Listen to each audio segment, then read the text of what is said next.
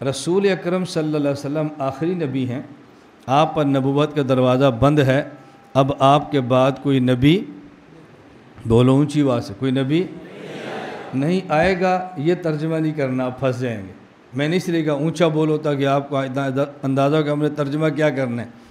ला नबी या का तर्जमा हमेशा ये करें कि मेरे बाद कोई नबी पैदा नहीं होगा। ये नहीं करना कि मेरे बाद कोई नबी नहीं आएगा।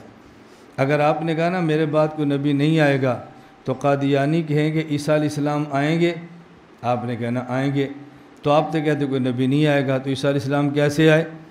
आप कहते हैं जी, वो उम्मती होने की हैसियत से आएँगे। कादियानी फिर पूछेगा, उम्मती होने की हैसियत से आएँगे तो नबी वाली हैसियत ख़त्म हो जाएगी। अल्लाह जब नबूवत देता है तो फिर वापस थोड़ी लेता है। वो नबी भी होंगे, उम्मती भी होंगे। तो हमारा मिर्ज़ा नबी भी है, उम्मती भी है। जिस हैसियत से ईसा है, उसी हैसियत से मिर्ज़ा है। तो ला नबी या बादी, ईसा की आमद के ख़िलाफ़ नहीं तो हमारे नबी की आमद के ख़िलाफ़ कैसे है? कोई और दलील पेश करो। अब आपने फंस जाना है। तो आप तर्जमा करो, अन ख़ातमनबीन ला नबी आबादी मैं आखिरी नबी हूँ और मेरे बाद कोई नबी ईसीम नाजिल होंगे और मिर्ज़ा पैदा हुआ है। अब आप तलब हैं तो आपके जहन में सवाल आएगा, इस अरबी तरकीब में तो पैदाइश का लफ्ज़ ही नहीं है। तो आपने कहाँ से तर्जमा किया कि पैदा नहीं होंगे? तो मैं भी आपसे पूछ सकता हूँ, जब आप कहते हैं, मेरे बाद कोई नबी नहीं आएगा, ये आएगा, आपने कहाँ से तर्जमा किया यहाँ तो नबी या और बादी है। नहीं, मेरे बाद कोई नबी आएगा तो आपने भी निकाला है ना? उसका मतलब ये है, ला नबी या बादी में ला नफ़ी जिन्स है, नबी या इसका इसम है, बादी इसकी ख़बर है। और ला नफ़ी जिन्स का इसम मबनी पर फ़तः होता है, ख़बर उसकी मरफू होती है।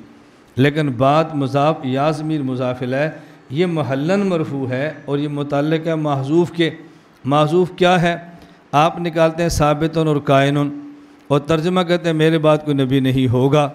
हम महजूफ़ निकालते हैं मौलूद कि मेरे बाद कोई नबी पैदा नहीं होगा। ला नबी या बादी की तरकीब तब बननी है जब आपने महजूफ निकालना है। इसके बगैर तरकीब बननी ही नहीं है। एक महजूब साबितन है, उस पर एतराज़ है। एक महजूब मौलूदन है, इस पर कोई एतराज़ नहीं तो महजूफ कौन सा निकालें, जिस पर एतराज़ हो या ना हो? इसलिए मैंने कहा, तर्जमा किया करें। हजू ने फरमाया, मैं आखिरी नबी हूँ और मेरे बाद कोई नबी अब समझ आ गई? हाँ मैं कभी दरमियान में बुलवाता हूँ ताकि बात समझ आए, वरना मुझे मजमे के शोर का शौक़ नहीं होता। मेरी तो नारों से जान जाती। है मैं तो नारे अपने जलसे में भी नहीं लगने देता, खामोशी से हमारा सबक चलता है।